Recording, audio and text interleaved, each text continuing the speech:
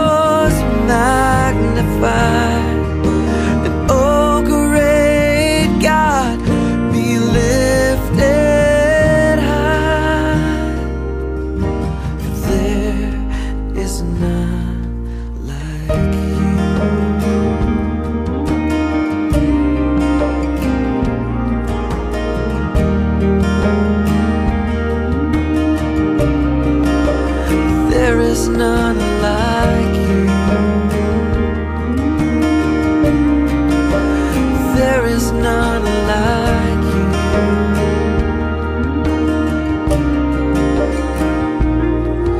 And when we see your matchless face in speechless awe, we'll stand.